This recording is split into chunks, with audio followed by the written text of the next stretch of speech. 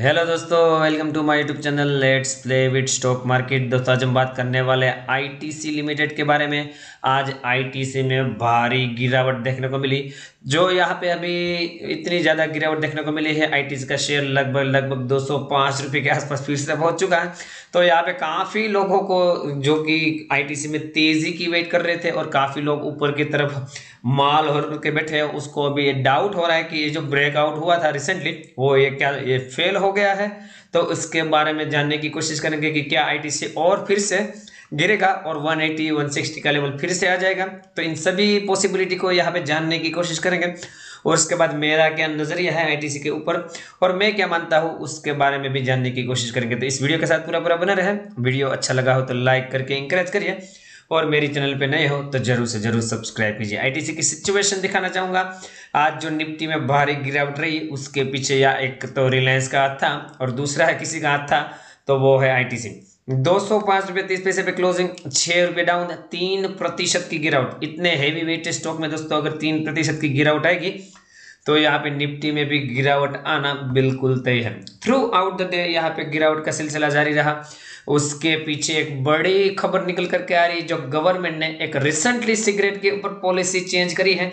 जिसका पूरा पूरा नेगेटिव असर हमें आईटीसी में देखने को मिल रहा है। पहले कारोबार की डिटेल जानेंगे कि क्या लोगों ने यहाँ पे माल उठाया है कि बेचा है, क्योंकि इतनी गिरावट में क्या लोग माल खरीद रहे थे कि बेच रहे थे, उसके बारे में जानेंगे। यहाँ पे आईटीसी लिमिटेड मैंने सर्च करके रखा है। दो सौ पाँच रुपये, तीस पैसे पे क्लोजिंग छह रुपये पंद्रह पैसे डाउन दो दशमलव नौ एक प्रतिशत की गिरावट। प्रीवियस क्लोजिंग की बात करें दो सौ ग्यारह रुपये पैंतालीस पैसे हाई भी दो सौ ग्यारह रुपये पचास पैसे का लो यहाँ पे दो सौ चार रुपये पचास पैसे का।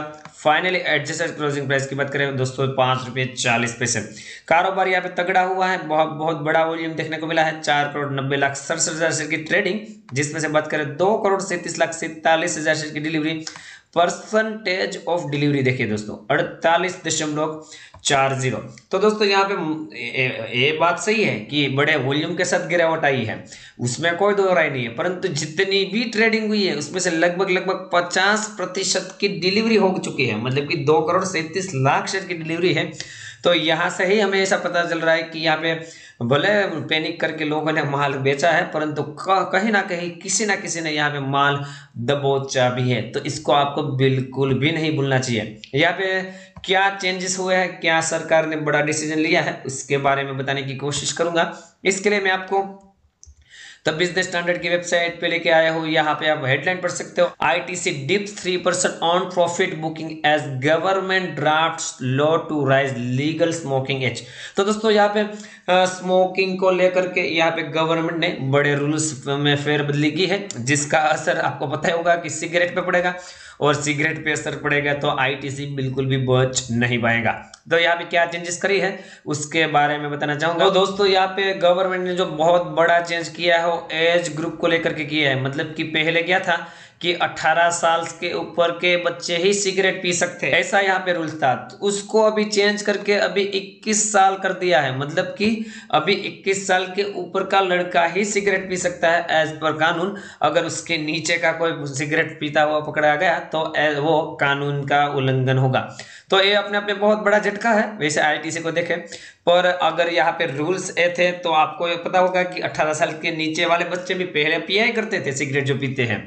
वहाँ पे कोई इतना ज़्यादा देखने नहीं गया था। हालाँकि उसको अभी बढ़ा करके 21 साल, अभी दोस्तों शक्ल देख के आप कैसे पहचानोगे कि ये लड़का 18 साल का है या 21 साल का? वैसे ऑन पेपर देखोगे तो आपको सही है झटका लगता हुआ दिखाई दे रहा है। परंतु जो पीने वाले हैं, वो सिगरेट मुझे नहीं लगता कि छोड़ने वाले हैं। One of the a reason था, जो कि मुझे यहाँ पे बाज़ार को ऐसा लगा कि थोड़ा बहुत आईटीसी के रेवेन्यू में यहाँ पे झटका लग सकता है। आगे और एक चेंजेस करी है। उसके बारे में बताने की कोशिश करूँगा। जैसे मैंने बताया कि 18 साल से अभी 21 साल की एज लिमिट कर दी है। और यहाँ पे और एक रूल्स में बहुत ज़्यादा स्ट्रिक्टली कर दिया है कि जो एजुकेशनल इंस्टीट्यूशन हो गए उसके 100 मीटर के आसपास सिगरेट या तोबो नहीं बेची जाएगी।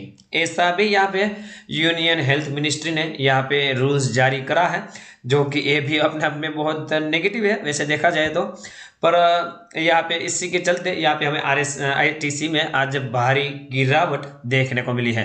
और यहाँ पे तीसरी और एक जो अपडेट थी, उसने यहाँ, जो कि यूनियन हेल्थ मिनिस्ट्री की तरफ़ से आई है। उसने जो लूज सिगरेट का जो बेचान है मतलब कि जो लूज सिगरेट बेचते हैं, छुटक सिगरेट जिसको बोलते हैं, मुझे प्रॉपर हिंदी वर्ड अभी याद नहीं आ रहा है तो मैं छुटक ही बोलूँगा। तो उसके ऊपर भी यहाँ पे लॉक लगाई गई है और उसके ऊपर फाइन भी बढ़ाई गई है। तो दोस्तों, यहाँ पे तीन एक बड़ी चेंजेस थी सिगरेट और तोबैको को लेकर के, जिसका हमें नेगेटिव असर आईटीसी में देखने को मिला। अभी इस न्यूज़ के बाद जो पहले एनालिस्ट बुलिश थे, वो अभी क्या बेरिस हो चुके हैं, उसके बारे में भी बताने की कोशिश करूँगा। तो उसके बारे में यहाँ पे हेडलाइन पढ़ सकते हो दोस्तों, कि ITC tank on new cigarette policy वो तो आपको पता है, मैंने जैसे बताया, पर analysis stay long term story intact तो दोस्तों, यहाँ पे जो लॉन्ग टर्म स्टोरी थी, जो कि सभी को बहुत ज़्यादा बुलिश दिख रही थी तो वो अभी भी यहाँ पे सब मान रहे हैं कि लॉन्ग टर्म स्टोरी में आईटीसी में कुछ फ़र्क पड़ने वाला नहीं है। यहाँ पे एडलवेज ने भी बोला है कि ऑन पेपर तो ये नेगेटिव दिख रहा है, परंतु यहाँ पे फ्लोर पे जाओगे मतलब कि रियलिटी में ऐसा कुछ भी नहीं होने वाला। और यहाँ पे उसने बताया कि यहाँ पे जो आईटीसी के रेवेन्यूज है, उसमें इतना ज़्यादा हमें कुछ भी गिरावट देखने को नहीं मिलेगी। तो दोस्तों, मुझे लगता है आपको भी बिल्कुल पैनिक करने की ज़रूरत नहीं है। मैंने जैसे बताया कि पहले भी 18 साल की पॉलिसी थी तो 15 साल वाले बच्चे 16 साल वाले बच्चे सिगरेट पीते ही थे तम्बाकू खाते ही थे। चाहे कोई भी पॉलिसी हो, और अभी भी ऐसा ही होने वाला है, आपको ग्राउंड में चेंज इतना ज़्यादा बिल्कुल भी देखने को नहीं मिलने वाला है। और एक न्यूज़ के बारे में बताने की कोशिश करूँगा उसके लिए मैं आपको इस सज्जन की फ़ोटो दिखाना चाहूँगा। संजीव पुरी, जो कि चेयरमैन एंड मैनेजिंग डायरेक्टर है आईटीसी लिमिटेड की। यहाँ पे उन्होंने ऐसा बयान दिया है कि ITC aiming 100 percent of electric energy needs from renewable source under sustainability two zero vision तो यहाँ पे आईटीसी ने एक टू ज़ीरो विजन करके एक विजन तय किया है कि यहाँ पे दो तीस तक वो यहाँ पे जो जो भी एनर्जी वो यूज़ करते हैं मतलब कि आईटीसी के प्लांट्स को चलाने के लिए जो भी एनर्जी यूज़ होती है, उसका यहाँ पे उस, वो अभी एनर्जी रिन्यूएबल एनर्जी के तौर पे यूज़ करेंगे 100 परसेंट दो हज़ार तीस तक। ऐसा यहाँ पे बोला है। तो आपने आप बहुत बड़ी खबर है और यहाँ पे बहुत पॉजिटिव खबर है मैनेजिंग डायरेक्टर की तरफ़ से। सीधा चलेंगे चार्ट पे। चार्ट पे अभी कितना गिर सकता है, कितनी गिरावट आ सकती है, उसके बारे में बताने की कोशिश करूँगा। मैं आपको ज़ीरो के चार्ट पे लेके आया हूँ। लेवल आपके सामने। यहाँ पे आज की कैंडल देखे, बड़ी कैंडल बनी है, यहाँ पे रेड कैंडल। तो हो सकता है आप यहाँ पे देखोगे तो आपको थोड़ा बहुत डर लगे और यहाँ पे वॉल्यूम में भी बहुत बड़ी इजाफा हुआ है। पर जैसे मैंने बताया कि जितना भी ट्रेडिंग हुई है, उसमें से 50 प्रतिशत के आसपास डिलीवरी है तो उसको आपको बिल्कुल भी नहीं भूलना चाहिए। अभी जो इम्पोर्टेड लेवल है 197 का वॉच आउट करना है। अगर 197 के नीचे क्लोजिंग देते, देता है, मैं ऐसा नहीं बोल रहा हूँ कि डे इंट्राडे में हो सकता है लेवल टूट जाए। अगर इसके नीचे क्लोजिंग दी तो आपको थोड़ा बहुत अलर्ट होने की ज़रूरत है। मुझे लगता है 197 के ऊपर जब तक रहेगा, तब तक मुझे नहीं लगता है कि आईटीसी में इतना ज़्यादा कोई प्रभाव पड़ेगा। तो अभी बात करें तो अगर आपने माल होल्ड करके रखा है या तो फ्री फ्रेश पोजीशन बना रहे तो आप यहाँ पे बना सकते हो, एक गिरावट का फ़ायदा ले सकते हो।